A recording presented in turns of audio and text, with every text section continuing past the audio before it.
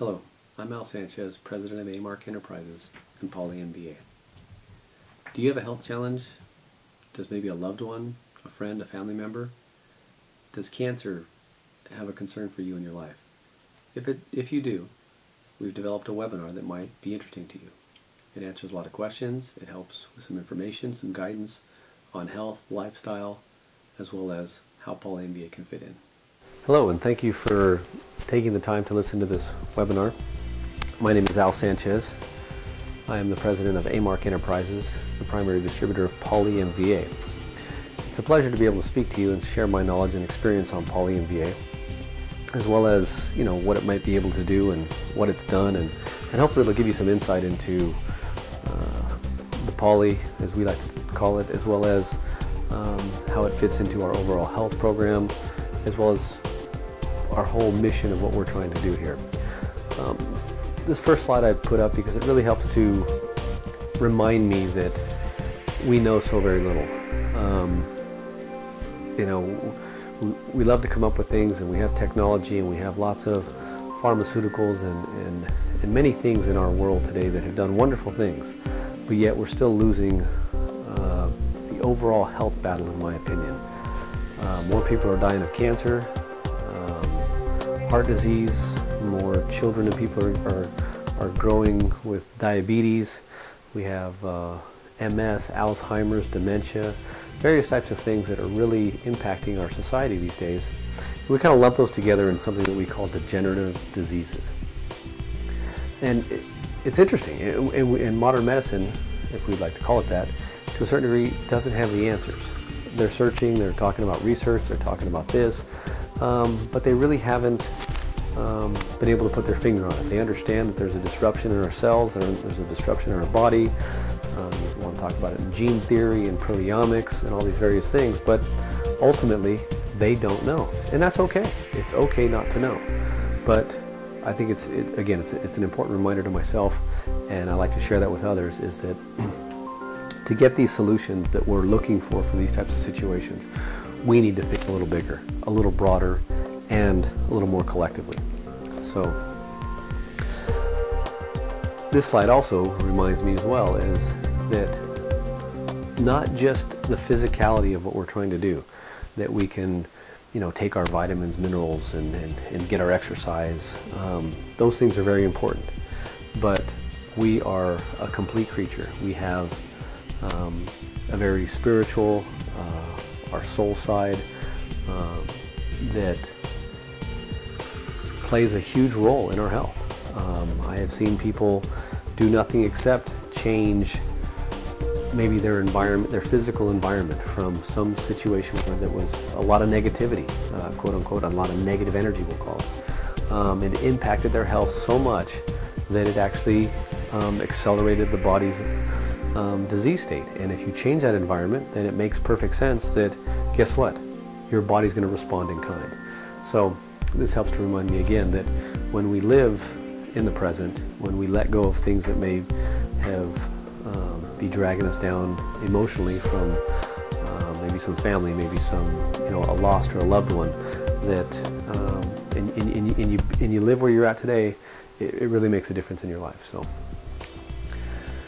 Now I'd like to get into what we like to call lipoic acid palladium complex. Um, you know, this picture that you're seeing is, is very specific to what uh, Poly MVA is about, what uh, the manufacturer and the inventor, Dr. Merrill Garnett, is about. Um, his, his young daughter at the time, who's now much older, uh, drew that picture when, after Dr. Garnett, after she became very attached to the mice in his research, and when they stopped dying and he would set them free, he knew that he had landed on, on what he was looking for. So do no harm is not only his model and his belief, but ours as well. If you're in any way, shape, or form harming the body, then it's going to impact the overall health, of course. And a lot of current treatments and protocols have quote unquote side effects that I'm sure most of us have heard about, read about, understand, and not sure exactly as to why that is what is allowed to be or accepted to be the paradigm, especially in what's dear to my heart, and that's cancer care. where these treatments are many times worse than the disease itself.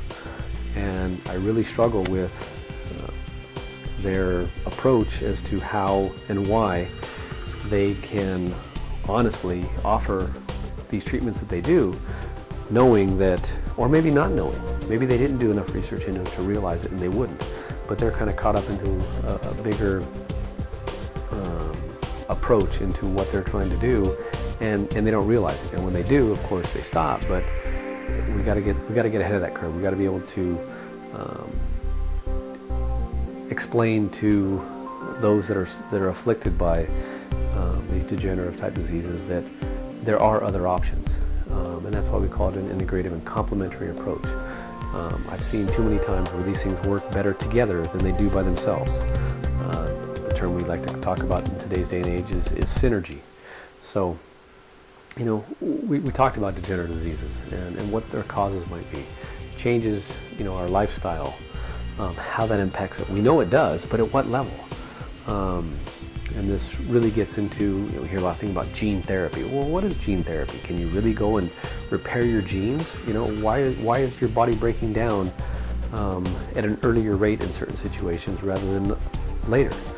Um, most of these diseases, we used to think of them as, as quote unquote, old people disease. It's just, it's just what's going to happen when you get old. Well, guess what? Yes, to a certain degree, we are going to age. Our body's not going to be able to repair itself as quickly.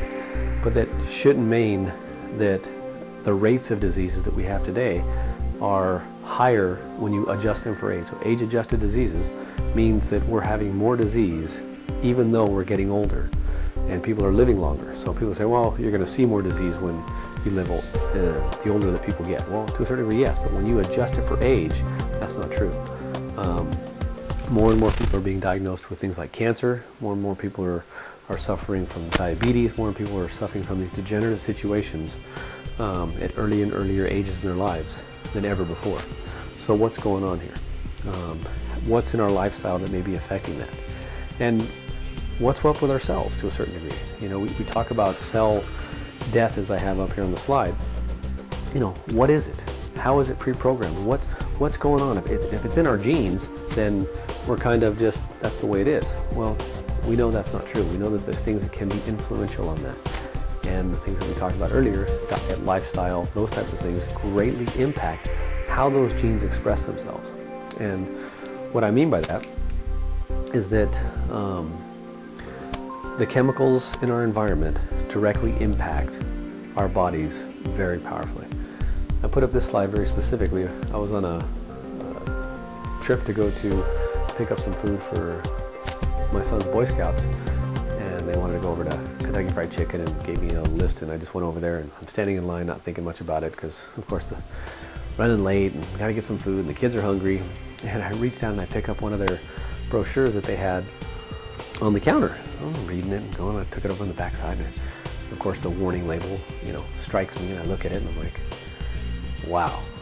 Well, and, and I know in general that fried foods themselves um, are not as healthy as let's say raw or fresh cooked or, or grilled or those types of things. But um, this one just struck me as odd, and I said, "Wow, I got to be able to share this with other people." You know, and it talks about the the chemical um, acrylamide, and that in the state of California, it's on the list as a cancer-causing agent, and yet, um, you know, how much is done the way that KFC does that, the way how much acrylamide is created when is that temperature related? Is that the type of oils that's used? Um, or is it just something for them? I, I, don't know, but I was literally astounded and, uh, you know, I turned around and walked out and said, uh, I'm going to go over to, uh, I think it was El Pollo Loco at the time, and get some uh, grilled chicken there versus the fried chicken. So, um, and I was disappointed because, you know, as a kid, I grew up with, with Kentucky Fried Chicken. I didn't know any better.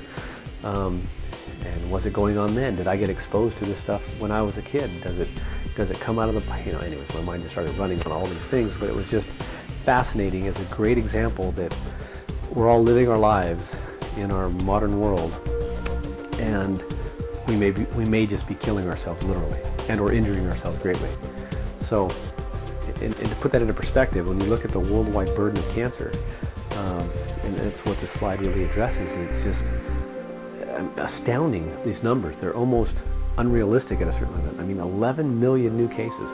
Now, granted, out of a world of 7 billion people, that may not seem like that big of a number, but it is in retrospect to what, if you go back 100 years and you look at the cancer rates then, um, now granted they weren't as easily diagnosed or tracked as they are today, so even given, you know, that we're, we're able to see a lot more and track a lot more, it doesn't necessarily mean that uh, that's the only justification because we know even in the short term in the past 40 years, cancer rates continue to go up. So it, it's these type of things that really need to be raised to the level of of attention that you know something's going on. And in any other situation, it would almost be pandemic to think that you know we're in 2013 now, and that by 2020 you're going to have 15 million new cases. Um, that's just just huge. And granted, even with an aging population, um, you know, we think about it in the Western world. I don't know that many people that smoke like they used to here in, in, in the U.S. But you go outside the U.S. Um, and the tobacco companies have really just exploited the the uh, third world countries and these up and coming countries with tobacco, and uh, it's unfortunate. So, whatever we can do to help in those in those areas. And you, and you look at the rates of, of new cases and deaths. You know, by 2030, um, those are astounding projections on incidences of cancer. Um, and what do we have to address it? Why such the rise? Um, and the main thing, in my opinion, would be uh, lifestyles, chemicals, pollution. Um, these things are, are very powerful agents and damage and, and have hard effects on our, on our body and our, and our cell's DNA. And when that gets altered or changed, then abnormal cells like cancer now have a better environment in which they can um, grow and, and take hold. You look at in the U.S. alone. So you have the disease, heart disease versus um, cancer, um, somewhat neck and neck.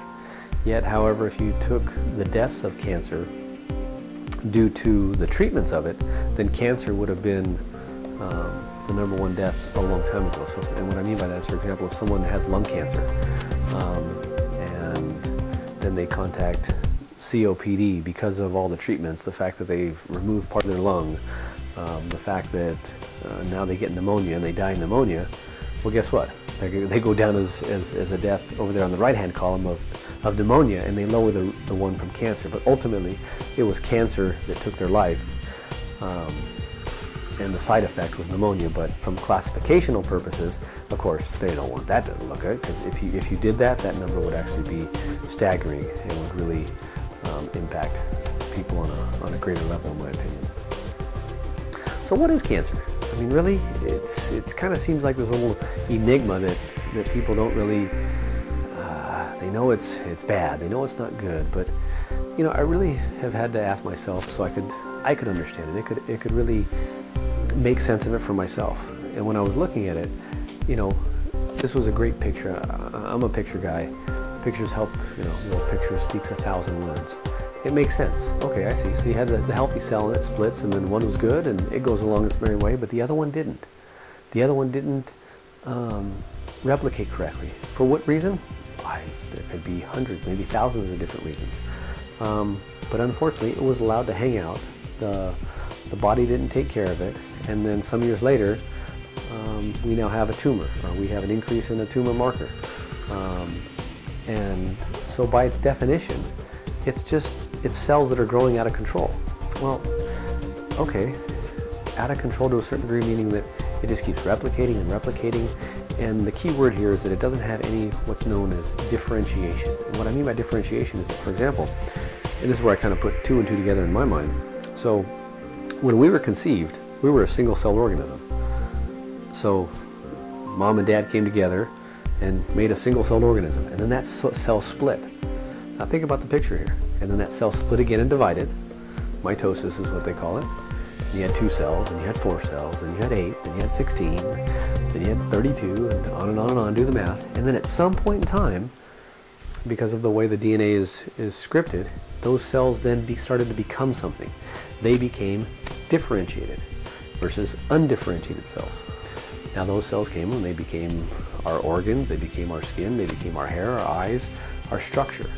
Um, well, guess what? These cancer cells are pretty much just those same cells at a certain level, just stuck in the replication mode. They forgot what to do. So they're not like taking over our body because of you know invading our cells and, and converting these other our good cells to be bad cells. Nope. They can just replicate at a faster rate because they're uncontrolled um, than our normal cells, and they have no pro- they have no purpose. They're not going to do any job that's going to help the body. What they do is they start to push out the healthy cells that are doing the job. If it's a liver cancer, if it's uh, a pancreatic cancer, a stomach cancer, they start taking over where now you don't have any stomach cells. Well, then guess what? That's not going to be very good. You don't have more liver cells. Well, that's not going to be very good. So, or they break off and they travel somewhere else and they start pushing out the other cells, and that's what they call metastasis. Well, I think you're getting the picture. And so, what is this on-off switch? Is there something that that triggered that one cell down there in, in the picture to say, "Oh, I'm not going to be differentiated"? What was that? Well, was it as was it some nuclear radiation? Was it just some chemical like acrylamide? Was it a carcinogen like mercury? Was it lead? Which one was it? Who knows exactly? But the point being is that our bodies have different mechanisms for taking care of that, and that's what I believe we need to really focus on and target in an integrative type approach. So, we, some of you may have heard this term, it's called oncogenesis. And, and this is kind of breaking down cancer. What I'm trying to do is, is, is give you a big high level view of of, this. And then we're going to come down and we're going to really focus in on, on, on the point of where I'm after and how um, lipoic acid palladium complex as well as lifestyle, diet, nutrition really, really play an issue with that. So in oncogenesis, or the beginning of cancer, um, you have initiation, then you have promotion, then you have progression. Okay, so let's go through those. Initiation, something initiates cancer. Okay, well, so I, I like common sense, and I think it goes a long way. Well, we have approximately in an adult human body 70 trillion cells. 70 trillion, yes, that's a large number, something that none of us can, can truly uh, comprehend. Of those, they're replicating every day, each and every one of them, from our head down to our toe. And our organs and our skin, some faster, some slower, depending on what's happening, but they're replicating. Well, guess what? Do they all replicate perfectly? No, they don't. And when they do not replicate, properly, they are technically an abnormal cell at that point in time. Okay, great. Yet, our DNA and our body and our immune system are all programmed to handle this. This has been a lifelong thing. It's part of all organisms in the world. And then they get taken care of, they get removed out of the body, and the body keeps right on going. But what happens when all of a sudden you get cancer in, let's say, your pancreas? So, the pancreatic cell didn't replicate right, and all of a sudden it's now going to continue with uncontrolled growth. And it could have been because of some chemical, maybe it's because of um, something, something that impacted the cell. Okay, but why does it stay there and yet everywhere else in the body it was fine? All the other organs at that point in time, the immune system was able to target it, but what was missing at that location of that initiation in, in, in the pancreas? And then all of a sudden, now the initiation started, and now that cancer cell gets to hang around and now it starts to promote itself. Now it starts to really want to take hold. So almost think of it like I like to use the analogy of, of a weed in your garden, right? The weed landed and all of a sudden it sprouts, and if left unattended, what's going to happen to it? It has the ability to take over your entire garden. It can replicate faster, it can drop more seeds than the other plants in your garden, and before you know it, it's all covered in, in weeds. Well, kind of similar to, to cancer. And this is where things that, uh, and you'll see them there on that slide, things like inflammation, um, differentiation, the biochemical changes of the environment. For example, and what I mean by that is that cancer cells love acidic environments. Well, guess what?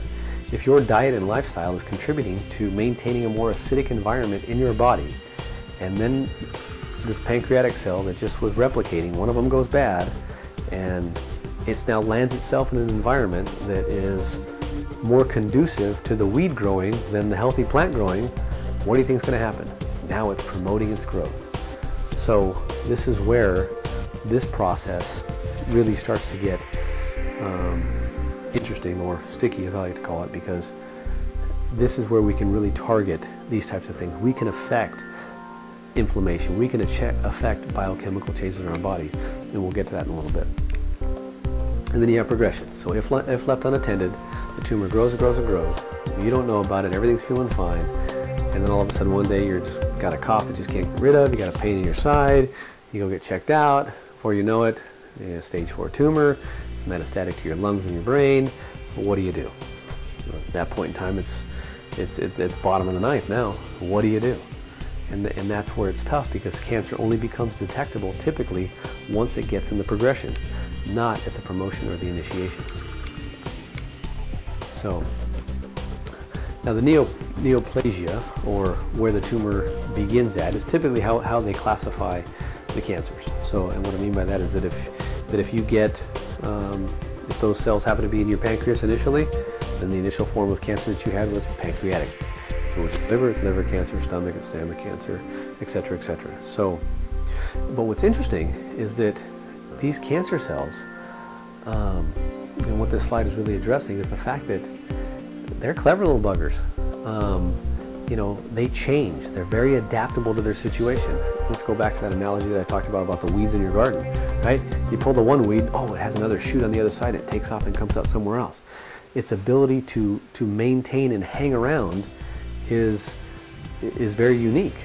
That's the way they are kind of designed to rapidly grow and do so. I mean, I'm sure most of us have understand the weed concept, right? Go and try and take the weeds out of your garden, but go take the one plant that you really like. Grab that rose bush or, or whichever plant you, like, grab it, cut it off at the roots, pull out the root ball. Do you think another one's going to grow there? Not likely, right? But that weed, it's designed for that. And that's the hard part about it. They are designed to be, um, to stick around. They're designed to survive. They are kind of like the first type of cells. They are designed almost similarly, too similar in my opinion, to those initial cells when we were conceived that their job was just to replicate, and that's it. So they can funnel in all their efforts and all their energy by just saying, you know what, I don't need to go and do any work, I just need to replicate and replicate and replicate and replicate. That's why they become so, so difficult to get rid of. We, we talked about this a little earlier, the causes of cancer. Well, there are many. Um, some of the big ones that I think that we can affect, of course, is there are some genetic dispositions to it. That's just that's just in our genes, and there's nothing necessarily that we can do about that. Um, but what we can do things about are the toxins, are the bugs, and or what we call biological factors that are going to impact how our genes express themselves. And we'll get to that a little bit later. So here's a good list of various causes of cancer. Um, and again, one of these by themselves may not be enough but you start taking many of these things and you put them all into, a, into the recipe, into the bowl of your life, into your health, and wow, what do you think you're going to get out of it? It's not likely going to be good. So, you know, we could all cite individual cases out of this. Well, I've had people have been on nuclear radiation and they're just fine. Okay. I've had people that work in pesticides all their life. Okay. I know people that drink fluoridated water and they're just fine. And tobacco. You can go through each one of these, but that's not my point. My point of what I'm trying to say is that all these things are around us in one shape or form. Some of us get exposed to, to more than others. Um, the thing that makes me think about this is what you may have heard in the news or or heard reports about when they call them cancer clusters. Why all of a sudden in this one area is there a cluster of this type of cancer? You have childhood cancers in certain cities or certain places or certain, they got exposed to something. There's, nobody will disagree with you with that. Just at the rate of it though, they don't know. So, and that's almost that, that's hard to, to, to pinpoint. But the point being is we have control over putting ourselves around these types of things. So let's start at the top one. Do we have our opportunity to pull ourselves out of out of food that is been irradiated? Yes, we do. Additives? Sure we do. If we have mercury toxicity that we're going to put inside of our of our teeth for our fillings, of course we can. How much sunlight we get? How much EMF are we exposed to? That's a big one these days, and there's a lot of science and research going on around that we know that electromagnetic fields affect cells, plant cells, animal cells, our cells. How much? Well, we know that under the big power lines, you don't build houses there. Okay, but nowadays we're all carrying around cell phones. Is that enough to cause an impact? I don't know. Is the Wi-Fi in your house too much? I don't know. I mean, technically we're getting bombarded by EMF now at a level that is almost kind of scary. Everybody, every house has got one. So your neighbor's admitting it, you're admitting it, um, you're carrying around with it. Is that enough to cause damage to the cells? I don't know exactly. Some will say yes, some will say no. But you know what? Yes, I carry a cell phone around, but then at night, I don't keep it next to my bed. You know, at night, I, I put my my uh, Wi-Fi system on a. I just used a Christmas light timer. It goes off at at 10 o'clock and it comes back on at 6 in the morning. Okay, or 8 in the morning, whatever time you want to set it for. Or you manually turn it on and off, whatever works for you.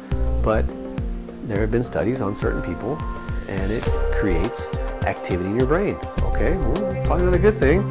So I can limit that. Okay, so, and this is my point. Do they take active effort? They sure do. But is it worth it in my opinion? In my opinion, it is. I lost my mom and my sister to cancer as well, as well as a lot of other family and friends. So if I can help to minimize that, that's what I'm trying to do. Again, we talk about bugs and bacteria, certain molds and, and, and parasites and viruses, um, break the cells down and make them more susceptible to cancer. Okay, so again, it's talking about this recipe. This is this is a recipe for for not just cancer, but it's actually, I should probably change that slide. Um, this is a recipe for degenerative disease. It really is. Um, it breaks down our body. It hurts our our immune system. It, it, holds back our DNA from being able to properly operate, um, and it has a huge impact. Um, some of the biological factors we've already talked about. Um, all these things, again, create a recipe for degenerative disease, for ill health. You know, look at the bottom one for vaccines, and you hear people, oh, vaccines this, oh, vaccines that. No, maybe by themselves, when they test them just as a sole agent, you're right, maybe they're fine. But you take that vaccine and you put it into someone who has a compromised system, and what happens? yeah. And that's my point. And it's almost impossible to test all the variations of this. So just because the research community or the company that's wanting, of course, wanting to sell the vaccine or what have you says, we tested it, it was safe. Really? And I'd like to give you a quick example of that. So my oldest son is 12 years old. He went in for a physical. He was going to a Boy Scout camp last summer. And so I took him down there, okay, to get him signed off on his physical because it's required. And uh, doctor looks at me and says, okay, well, we want to, uh, you know, he's eligible for uh, his vaccine. I said, excuse me? No more vaccines. He's 12. He's done. Well, they've just approved uh, the Gardasil vaccine. The Gardasil? You mean the one for women and, and cervical cancer? Yeah, that one. What do you mean they approved it for, for, for young boys? He's 12 years old. well, they say it's safe. Let me tell you, I lit that doctor up. They say it's safe. Oh my God, I couldn't. I said. I think I said it to her like four times, and every time I said it a little bit louder. They say it's safe. Hmm. Who is they? right. That was my first question. Who is they? Oh, the company that's selling it. Really? So let me get this straight here. The company that's selling the vaccine says it's safe, and I want to believe them. Why? So let, us go here. Did you review it? No. Did you go look at the, the literature? No. Did you ask what they ever, have they ever tested that against a 12 year old boy and his um, state of, of, of maturity and how that's going to impact him over the long haul? No. And you're asking me as, as his parent to give it to him because they say it's safe. Oh my God, I, I, was, I was beside myself. You know, we expect these doctors, we expect these people and it, it's an expectation that, that I've had to realign. You know, they're under their own situation that is difficult for them. They're trying to do their own business, they have their own families and things like that. But when it comes to the health of myself and or my child, no, that responsibility clearly lies on my shoulders. Um, and the little things like that can have huge impacts. So, anyways, I don't want to get sidetracked on that, but it's just that that's a small example of how these types of things all come together to, to make up our health. You know, would he be fine with it? Maybe. Would he not be fine with it? Would I, do I want to take that chance? Not in today's day and age anymore. Uh-uh. Not with everything going on and what's in the environment. Um, you know, we talked about toxins earlier. Um, the exact number is still up in the air, but after from 1950 to right now, uh, they say anywhere between 75 and 100,000 new chemicals are on the face of the planet that have never existed before. Really? so you, you, look around your house, the plastics, um, the cleaners, um, all these things. By themselves tested the shampoos the lotions all these things. By themselves they tested them oh we did some animal testing on some on some rats and it didn't irritate their skin. Okay well and there's no possible way they could ever test those things with all the various combinations that exist in one person's life. Well i've come to the point where it's like no remove them period so why would i want to even be in that environment you know. And so I have air fresheners in, in, in, in, in the children's rooms and giving them the, the, the environment that is, that, is, that is best for them. You know, clean water, clean air, um, as free from chemicals as possible because I don't want any of that initiation going on.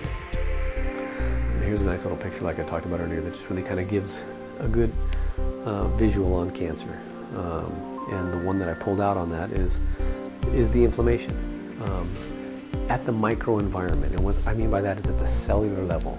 So um, all these other things are just processes of it. But we know that inflammation plays a key role, and we're going to get into that here shortly. What is inflammation?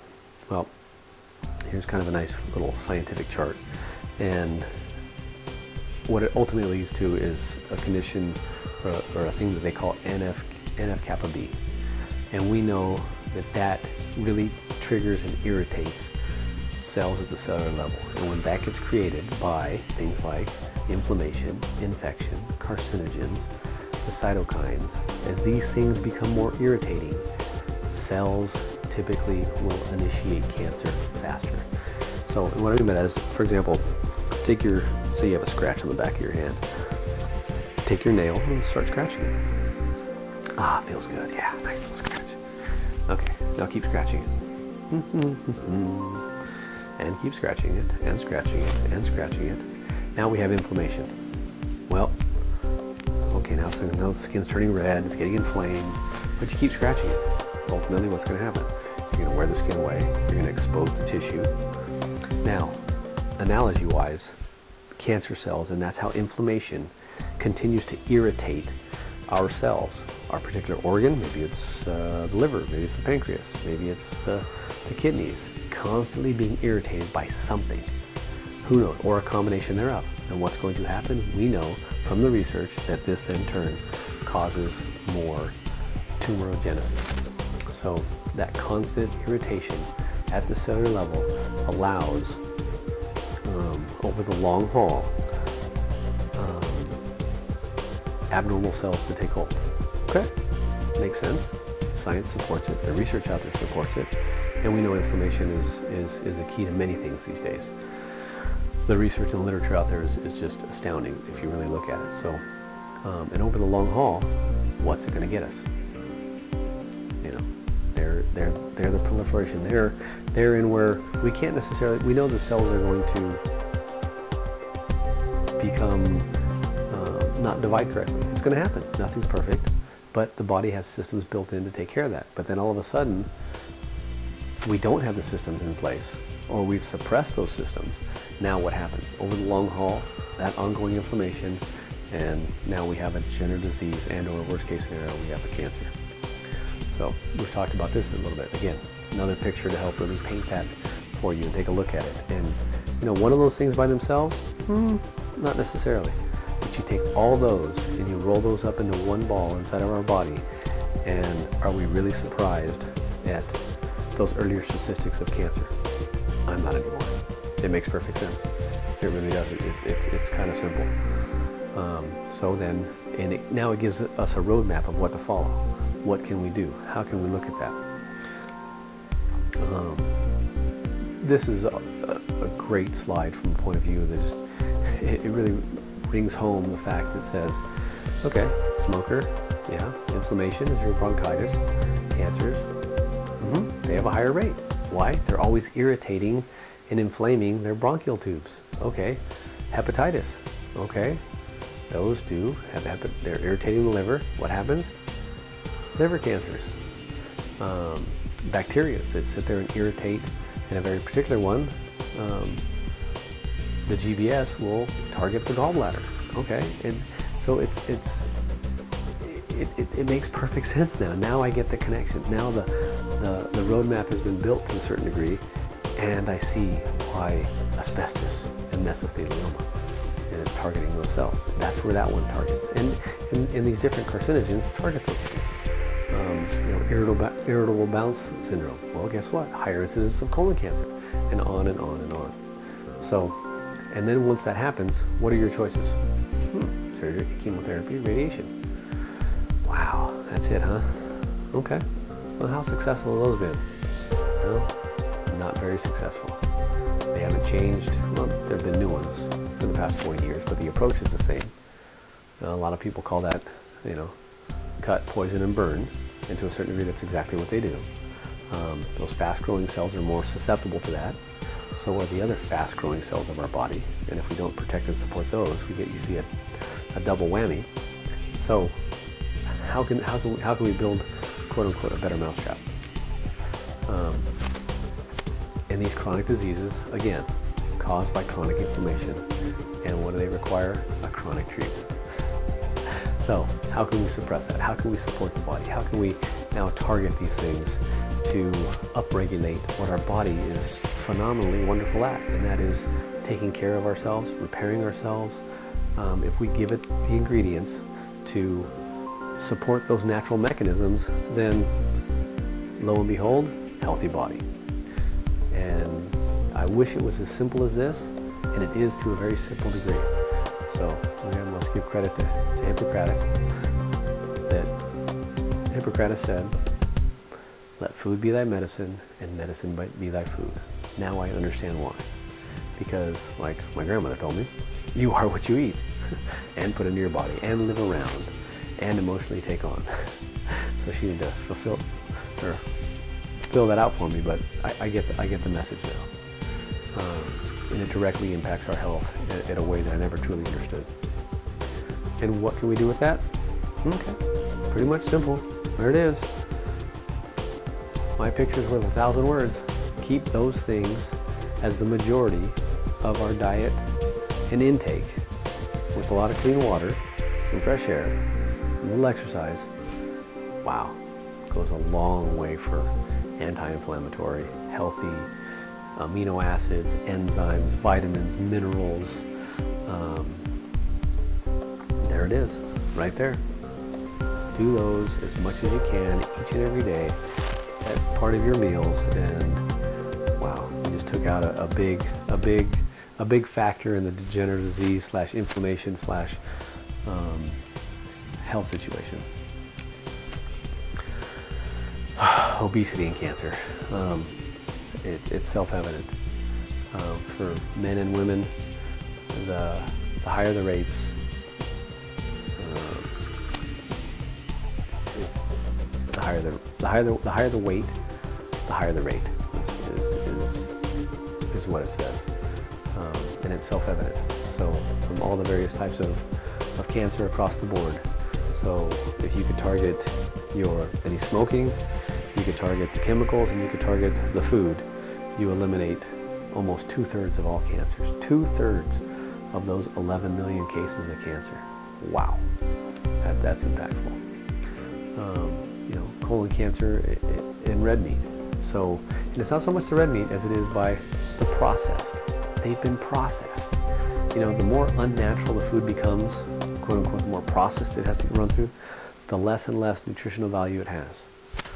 Um, the chemicals that get put into it, the chemicals that get created because of the process is the main message of this. So I'm not just saying simply red meat across the board, but it has higher incidence of it. Um, it's tougher on the system, it's tougher on the body. It doesn't mean you can't enjoy it and or do it do it healthy wise, but um, the process stuff is, is, is, is the key takeaway from this for what it's gone through to, by the time it gets to you, it's no longer that nice processed meat. For anyone else that has, that's had fresh, fresh meat, it, it, you can know there's, there's a big difference in, in the taste, flavor, and its, and its nutritional value.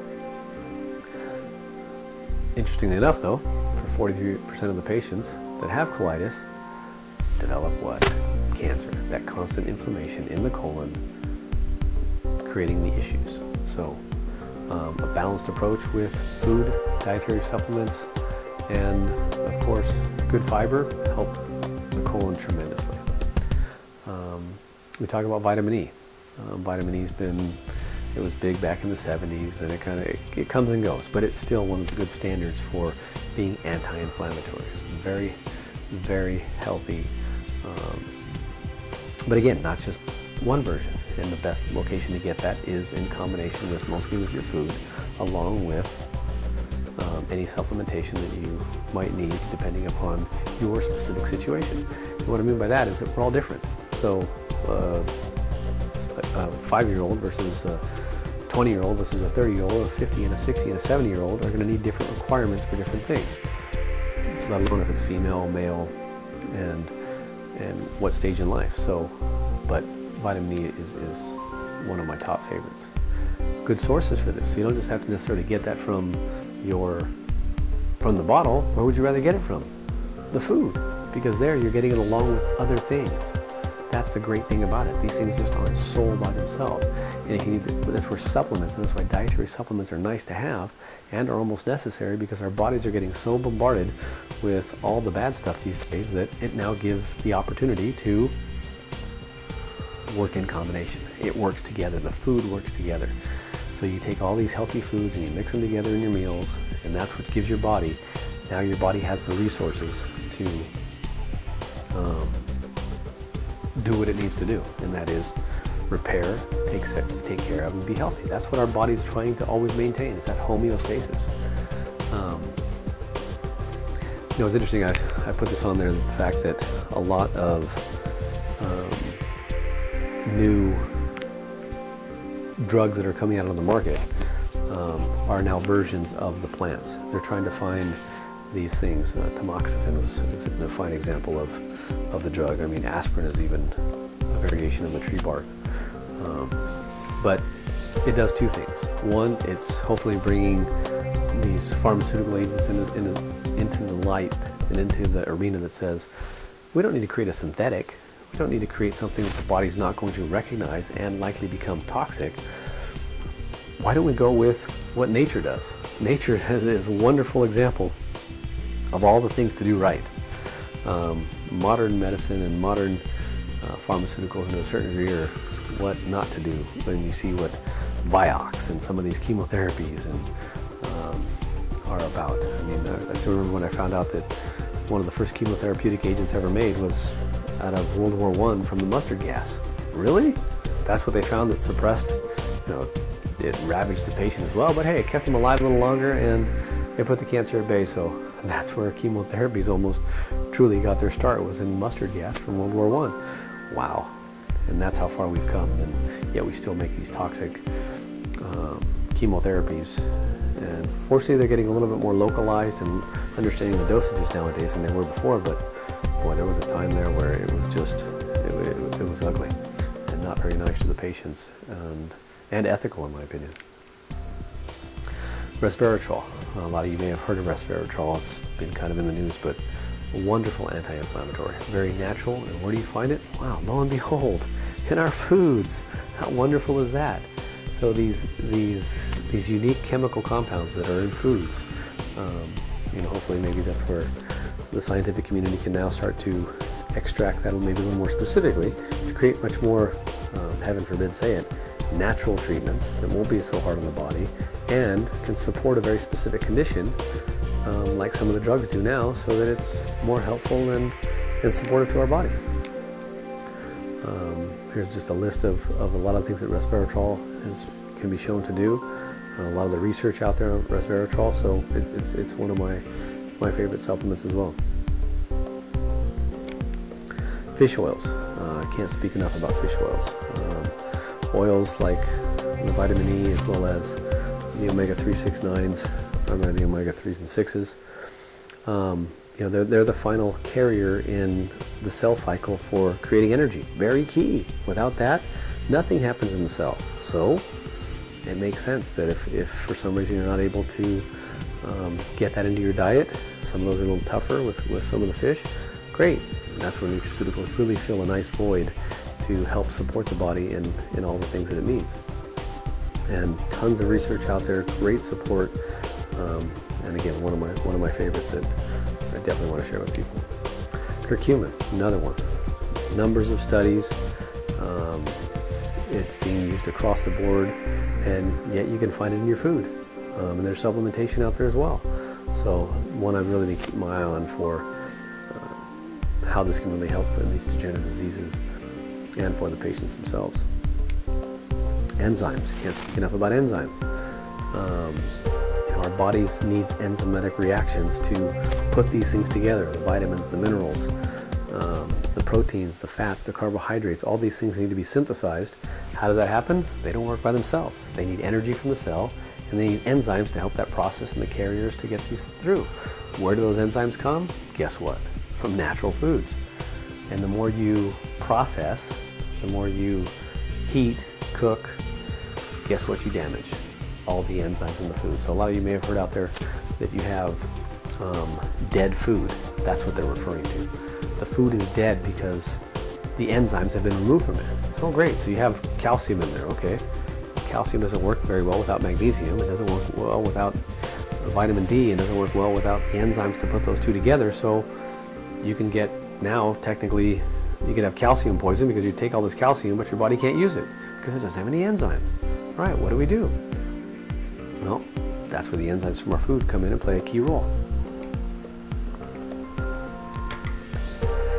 This slide really brings home the fact that, um, you know, if what we're targeting is to is how our bodies are expressing and our genes are controlling the mechanisms of our cells and our organs, um, it's not just one.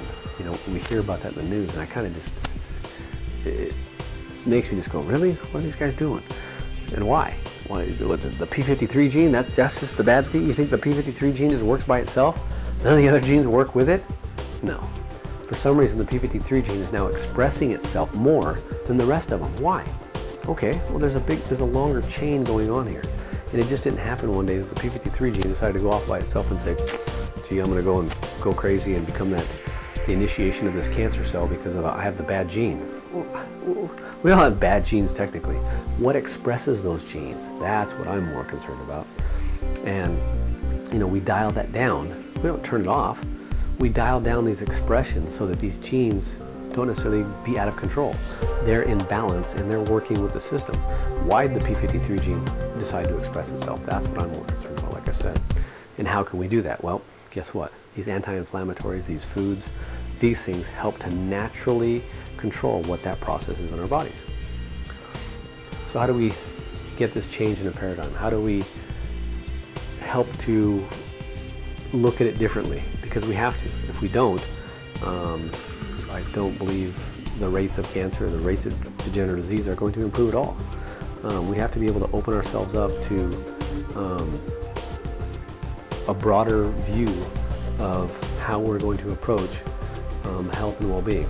And that is going to require, like we talked about earlier, a much more natural products that our bodies can recognize and utilize versus these, you know, simple drugs Okay, great. They, you know, for a very specific event, they're great. You have a heart condition, your your blood pressure is just running off the charts. Yeah, you know what? There's no supplementation in the world that's ever going to bring that down immediately because that's critical mass. Okay, take a specific drug, it brings it down, it gets it under control, gets you some time, and now you can start changing the diet and lifestyle so that your body can do it naturally. Your body doesn't want to run high blood pressure normally, doesn't want to run a high heart rate normally, but it's doing so in response to the diet and lifestyle that we technically are living. If you change that, then what's going to change? Change your lifestyle, it will change your life. Two go hand in hand. Uh, we talk about insulin potentiated therapies.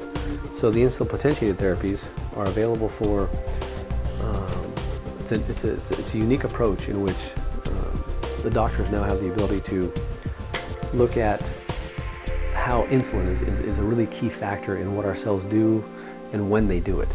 And if they can use this therapy to then have a much more targeted approach, not only for cancer patients, because cancer cells are very sugar dependent, that's why this is so unique in it, but it wasn't initially found out of that. It was, it's helps to target therapies across the board. So working with uh, various organizations that, specif- that uh, specialize in IPT and how that can be much more effective and safe for cancer patients is what key. Um, there's a great organization out there that, that teaches doctors and is supported by the Best Answer for Cancer Foundation. It's a really good group of doctors. They really get together, they, they try and, and handle the solution collectively, not just independently, which is phenomenal in this industry these days. How do you know if you have cancer? Well, by the one definition that we talked about earlier, we all have cancer. But where do we have cancer that it becomes quote unquote the problem? Well, here's some various ways that we go through that and look at the various profiles um, and testing that we can look and say, okay, is something going on in that situation and at what stage is it at so that we know how we can approach it. What I would like to do is just not even have to get to this point, but if we do, it's nice to know that we have options like IPT and other various therapies for, um, for the patients. Again, some more information on cancer, what you might look at, MRIs, biopsies, um, these types of things. You know, and, and some of the tests as well are um, are they safe? Do we want to be having these things and getting exposing ourselves to radiation? And if we do, should we be protecting ourselves before we go and have them? Those are difficult questions, and the answer, in my opinion, is yes. Why wouldn't we do something? You know, if you're going to go in for an X-ray, you're going to go in for a CT scan, an MRI. Yeah, take things that are going to protect you from from from radiation exposure, and then you can go off them if that's all you were going to do, or if you want to stay on them because of the lingering effects, that's great, not a problem. And a lot of foods can do that as well. C-reactive protein, and of course, the power Doppler sonography for breast cancer and prostate cancer. Um, you know, let's start with the simple stuff. Let's not do these big invasive treatments, these big exposures to these patients that are already compromised. Let's do it a lot smarter, not harder. You know, we talked earlier on about that mind-body connection um, more powerful than I ever really realized. Um, I started the slide decks with those to really help show that it's powerful, more than I'd ever thought in, in the research that I've seen. Um, the power of a po positive thought versus the power of a negative thought go hand in hand. They work together. They is it the only pathway? No, but when you have a positive thought, when you're working towards things, you're in a better place, you feel better, a little more energy level comes up, same thing happens. And that translates not only from overall sense of well-being, but it translates all the way down to our individual selves. They know it as well as we know it. It's, it's kind of weird, but it, but it's true. Um, and when the body starts feeling that way, the pain start to start to subside a little bit more. So maybe it's only two percent of it, maybe it's twenty percent, or maybe it's fifty percent of the situation. I've seen people, heck, it's been 100% of the situation. They took their stress situation out together, and their pain went away altogether. Not only metaphorically, but also realistically. So um, great to be able to have that on board and supporting the body and doing what it needs to do. Because again, if we're wanting to balance this out, we have to approach it differently. So, you know, what's the rule of thumb? And I normally don't like to read my slide decks, but whatever you were doing that got you sick, don't do it anymore.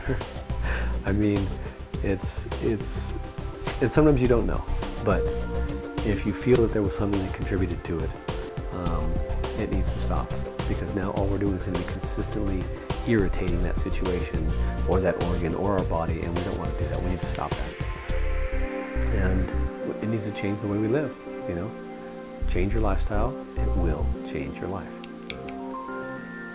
I call it the, the must-do list. Um, just a good idea to, to, you know, check yourself, see where, see where this at is in, in your lifestyle. Um, it helps to give me a reminder as well as kind of a, a map and a direction as to where I'm going and what I'm doing and which way we're going to go. So I do not list, of course, that's kind of self-explanatory. Um, we can take that on, we can not take that on, but we know that you know, one thing by itself, yeah, you're right. It may not um, have all that of an effect, but all together, you put all those things in in one boat, well, that's where it kind of gets sticky. So, you know, I've had people that I smoked all my life. My grandfather smoked all his life, and yada yada yada. Well, maybe he smoked all his life, but he also worked on the farm every day and he ate naturally or something. I, I don't know. But you put these things together and uh, it, it, makes a recipe for ill health, and that's what we're trying to avoid here.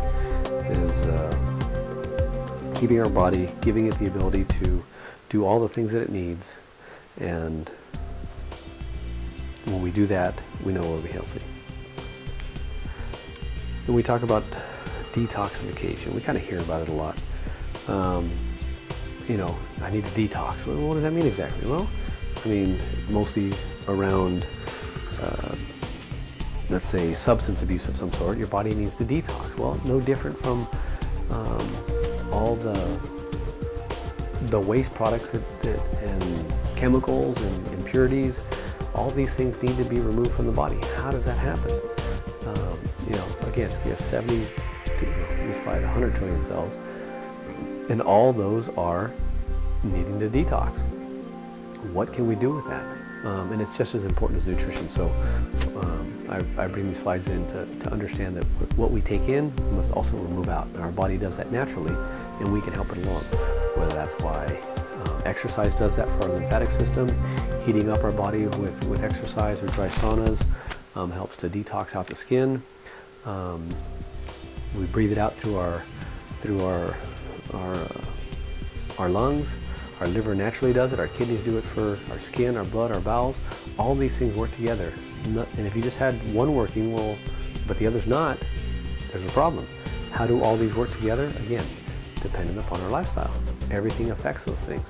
So um, when, we, when we bring those those forms of healing together, now we're bringing everything to the, to the party per se. Now we're bringing the, the good food, the good air, the exercise, and all these things now happen naturally. Our responsibility as stewards of our bodies is simply to bring it there. Um, here's some things that really target detoxification real specifically. Um, some do them all, some just do a few of them. See which one resonates well with you, and I would recommend that you do it at least you know, once every every three months, depending on what your diet lifestyle is. You eat well well balanced meals and you get lots of exercise and then uh, lots of fiber, then okay, maybe just do some green juicing, some carrot juicing. If you're feeling like you're down and out and you really need some help, then maybe a, you know the parasite and the coffee enemas and, and those types of things. But it's it's really individual. you can take it a, a, a, another level higher. You can go to the infrared saunas, um, all these things are forms of what comes in and what comes out. We are not only physical beings, but we're, we're emotional beings. And again, those things come in, they're processed, they need to be removed. And if any of that work needs to happen. Um, it puts our body in, in, a much more successful situation. Um, emotional stress, again, I come back to that. Powerful. Um, think of the weights that we've ever gone through in our lives that have been emotional and how heavy that's ever felt. And if we were to put down that burden or we really process that or come to a, a resolution with something, wow, you could be a little overweight and maybe you're not eating right. But what a big game changer that is. And it can set you on the course for fixing other things. Um, now we get into a key area that I want to get target, and that's really more specific to the poly Um, metabolism is, is key. Without it, without the energy, what do we have? You can, ha- you can have your DNA, but with, if the DNA doesn't have any power in it, doesn't have any energy in it, what's that DNA going to do? A whole lot of nothing. Uh, Dr. Garnett had, had given me an example where he, you know, said, hey, take a, take a seed of anything. Take a seed of that tree over there and, and, and take it and set it on your counter. What's going to happen to it? Nothing. It's going to sit there, right? But it has all the DNA to be that oak tree. Okay. Take that same seed, take it outside, put it in the dirt, get some sunshine on it, water, water it, take care of it. What's going to happen? It's going to grow. Did it just do that magically? All of a sudden, you created the, the positive environment for that, and that cell, that seed sprouted and grew. And if you maintain it and you take care of it, then look what happens the body becomes available to now move forward. It can grow in the proper environment. If not, it can grow in, in a toxic environment, let's say, or a less um, healthy environment. And what's going to happen? It may be stunted growth tree. Uh, you can see the analogy of what I'm trying to get to. Well, guess what? The normal cell and the cancer cell, no different. The environment. The normal cell can become the cancer cell with the bad environment. And what can we do with the cancer cell? Well, let's see what the body will do with it. So we talk about metabolism, and it really targets, this is the process. It's called the Krebs cycle. It's called uh, ATP. It's how our cells develop energy. And it's a really key difference as to what abnormal cells do. So this is the process at the mitochondria to create energy for all our cells. Each cell does it. It needs to do it. And lipoic acid and thiamine are what are involved for this energy. They're part of that process. There's other things as well, but they are a key part that helps to um, support and create this ATP energy so that it can generate energy in our cells. Okay, and what does that energy do? Well, when that energy is created, our cells can now go and do what they need to do. Skin cell, liver cell, um, stomach cell, brain cell, nerve cell, all the cells, all those 70 trillion cells of our bodies now can go and become those cells because the differentiated cell requires a whole lot more energy. The cancer cell, the abnormal cell by definition, does not. It doesn't use this process. It uses a simple sugar process to break it down because it doesn't need to go and do any work. That's not what it's designed to. It's designed to simply replicate, like our earlier cells were when they didn't need a lot of energy. But when they do need to be go and become and do some work, they need a whole lot more. And this process is known as ATP. So in glycolysis, this is where you can see glucose gets turned into pyruvate. Well, in a cancer cell, that doesn't happen. It just simply uses the glucose, the glucose, and isn't necessary because it doesn't have the ATP process. It simply has, or doesn't have the Krebs cycle. It simply has, which can generate 38 units of ATP versus the cancer cells version in anaerobic versus aerobics. It doesn't need oxygen. That's what that means. Only needs two. I ran across this article oh, a few years back. It was in Newsweek, and it was interesting to to read this as if it was some profound new bit of information that that what actually triggers the main process in our cells is this these little things inside them that are called the mitochondria. Um, and not only do they control apoptosis, but they also control um, how our cells are working. They are the energy, the energy factors of our cells, and without them, then our cells don't work. And without energy, nothing's going to work. So, and they're also the same ones that when those shut off and turn down, they're the process of when our cells say, okay, time for me to shut off and go away. Something that a cancer cell doesn't have. A cancer cell doesn't know how to die. It forgot how to die. And one of the differentiating factors is the fact that the mitochondria in a cancer cell are totally different. They don't work the same way. So this has led to what's called the mitochondrial theory of aging and disease, in which these are more powerful factors than anybody ever imagined. This ability to create, maintain, and support energy is what is key for our cells to do everything they need to do. So, and they all work together from um, how antioxidants play a role in there, how the DNA works together, um, diet and exercise help to factor these by creating more energy, by using up, um, by becoming more active in ourselves, our bodies are healthier. And what does that lead to? That can now lead to various therapies based upon the metabolic support of ourselves. And we realize that by targeting that, now all of a sudden our bodies now have an ability to be more effective. And you combine those with things like coenzyme Q10, D-ribose, L-carnitine, potassium, all these various things work together to create that cellular energy. And if we do that, we can have an astounding effect on our body. Lipoic acid palladium complex. The, the key ingredient in poly-MVA. That's a picture of what the structure actually looks like.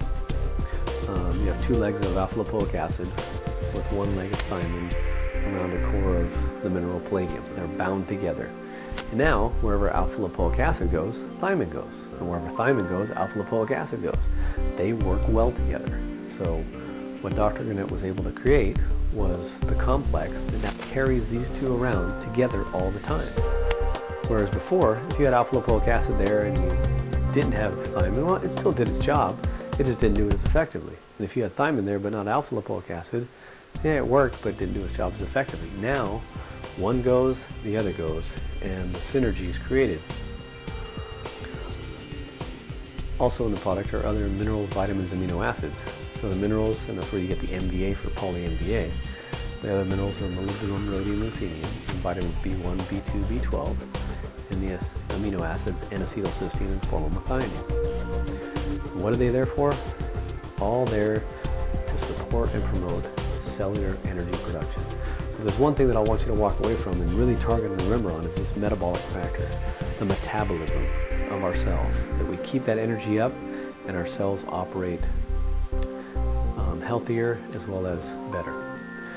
Uh, there's a picture of Dr. Merrill Garnett in his book about first pulse, uh, and he talks about first pulse. Uh, you could probably understand why, because first pulse means the cell's first pulse, whereas it maintains its, without that energy, the cell isn't alive. So, and if you maintain it properly, then the cell operates properly. If something happens with that energy source, then there's going to be a problem in the cell. Um, think about it with electricity. If you have the right amount of electricity to your to your phone or your computer or your household, things work properly. If that energy cycle isn't proper, what's going to happen? Either damage some of the equipment or not work at all or work sporadically. Um, and you can see how similarly this is, whether it's our cells or anything electrical that works in the world. Um, Dr. Garnett again came up with his motto and his belief is do no harm. And how can we use this metabolic process if it is such a key factor in apoptosis? Can we target that? You know, how do we get the expression of our DNA to operate more effectively? Well, if we could give it more energy, if we could support that metabolic factor, could we have an impact on the proper health of our cells? And the answer was yes. You know, we talked about a little bit earlier on what, again, why is it so unique? What's so different about that? And it's this bonding process. So imagine there were three of you in a room and three people working independently of themselves. Yeah, they get some work done, and that's good. And they can move some things individually. But together, if those three were bound together, could they do more? And the answer is yes. And that's what lipoic acid palladium complex is. They are bound together, and this now has an ability because of alpha lipoic acid on one side and thiamine on the other. Now you got one alpha lipoic acid quenching and absorbing energy, and you have thiamine on the other side that's now supporting energy. So you can mimic the electron transport chain or the energy pathway of our cells, which now you're picking up this energy that would normally be doing damage, and now you're giving it to the cell so it can be more healthy. A lot of times people ask the question, well, why, why can't I just take those things individually and, and have the same effect? Well, because your body is going to use things individually as well. Where all the, the B1 goes, where all the alpha lipoic acid goes, you don't know. But lipoic acid palladium complex will go, being water and fat soluble, travel to all cells of the body and have the ability to now support all the cells no matter where they are. So does it, does, is it an immune booster? Well, indirectly yes, because it's supporting the energy production of your immune cells. Is it a nerve system protector? Well, of course it is. It has alpha lipoic acid in it. Could it support the energy production of them as well? Of course it can. And you can see why now it, it becomes universal for the body's support. All our cell support now have this um, ability to quench free radicals as well as donate those back to ourselves. So again, that bottom statement, it, it's a very effective energy transfer molecule, and I'll show you an example of that here shortly. This is an ORAC test. What that means is it's uh, a compound's ability to absorb free radicals or um, oxidation, oxidative stress, or um, and how it fares. So if you use vitamin E, which we know is a good antioxidant, compared to vitamin A, vitamin C, melatonin, lipoic acid, the universal one. Some of those are water soluble, some of those are fat soluble. Lipoic acid is unique because it's water and fat soluble. Well, guess what? You take poly-MVA and you complex it together, and guess what? You make it four times more effective than lipoic acid by itself. Four times. It's like it's like alpha lipoic acid on steroids. Now you have a, a, a large energy transfer molecule that can do it much more effectively, and that's what gives poly-MVA its uniqueness. How does it work? Well, if we're looking at an abnormal cell and you enter poly-MVA inside that cell, what's it going to do? It's going to absorb free radicals and try and target the DNA. But prior to that, it's also going to try and shuttle this energy, because that's what it's trying to do, that's what thiamine does, is generate energy at the mitochondria. But these cancer cells, are, I don't need that. I work off anaerobic respiration. I don't use aerobic respiration. What do I want this for? Well, and we know it does that because if you give regular lipoic acid with it, it will block the effect of the lipoic acid palladium complex. What's it going to do? By shuttling that energy, you're going to be creating oxygen radicals down the electron transport chain of the mitochondria. Okay, what's the big deal inside a cancer cell? Well, if you generate oxygen radicals inside a cancer cell, it's going to trigger what's known as apoptosis, the release of cytochrome C, turns on caspase, which is the normal way that our cells turn off. That's the process, like I referred to earlier in the other slide, where the mitochondria control when the cells live and when the cells die. If they stop producing energy, the cell's going to die. If they continue to do it, the cell will live to a certain degree. So, but a cancer cell doesn't deal well with oxygen inside the cell because they're anaerobic. Versus your normal cells are aerobic, meaning they require oxygen to help produce this ATP and this energy. And if you start giving it this energy and start giving it this oxygen, what's going to happen? The cell's going to turn off. Now, if you take a healthy cell, what's going to happen? Same process. LAPD is in the system, it's donating energy, it's upregulating O2. The mitochondria in this case are saying, thank you very much. Wow, I have a mechanism that can help control and support and create oxygen and energy. Heck yeah, that's what I got to do to take care of my DNA, to take care of my RNA, to take care of all the other factors that this cell has to do to do its work. Now I stabilize that chain, I protect from any type of, of, of radicals, and now we have a healthy and energized cell. That's a win-win. I mean, flat out, you take that basic approach and you put that into these other um, natural products as well as any other integrative type uh, approaches to helping and supporting the cell, now you have a win-win mechanism. On that slide deck as well, it talks about ischemic reperfusion radicals. And what that means is that it quenches those. Um, Dr. Antonovich had done a lot of the work for ischemia, and that's like in a stroke situation. Ischemia, when you cut off blood flow to cells, what happens? Well, these reperfusion radicals get generated, and they actually go out and do a lot of damage. Well, what he found out, not surprisingly, is that the lipoic acid palladium complex will quench those, will put out their fire and stop them from doing damage. So huge impact on, on these ischemic cells that, and that happens sometimes when, when our bodies don't even know it. So it makes a great and ideal um, agent for um, prophylactic use for anyone that might be predisposed to um, ischemia type situations. Its history, you know, animal studies, human studies, um, lipoic acid palladium complex and poly have been used for years.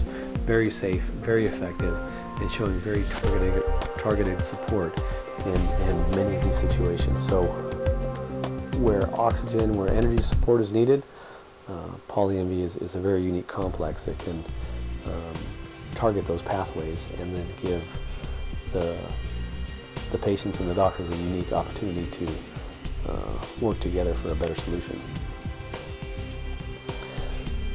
This slide deck reminds me of the fact of, of, of what we're kind of up against. Um, you know, why in the world would you have a, a, a $6 billion drug um, who really doesn't even um, do anything for, for overall survival? What was the point? All the time, all the effort, um, and it was allowed to stand. Why? why would this be able to, to be done when it isn't showing um, any long-term benefit, but yet you know, it makes the question why the pharmaceutical industry is doing what the pharmaceutical industry is doing. They're, they're, they, they can't patent vitamin C. They can't patent vitamin B. Um, and so how would they, why would they spend the money to look at how effective those things might be against um, or in support of um, anyone with a certain type of degenerative disease? It doesn't because they then couldn't turn around and go sell it. And I understand that from a business model that makes sense. Why would you invest in something that you can't get a return on your investment? At the same time, it's the responsibility of the federal government to look to the welfare and the benefit of the people. So, um, not just to approve of something just because or for other various reasons.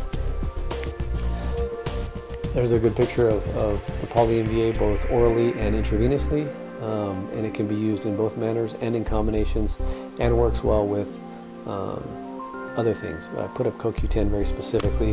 Um, coenzyme Q10 helps to stabilize and support that mitochondrial chain, um, and when those two are used together, uh, we, it's, it's, a much more increased and beneficial effect to the energy of the mitochondria into our cells. Um, other antioxidants work well with it. Some of the other ones like the fish oils, the, the vitamin E's, vitamin D's, um, as well as other complementary therapies.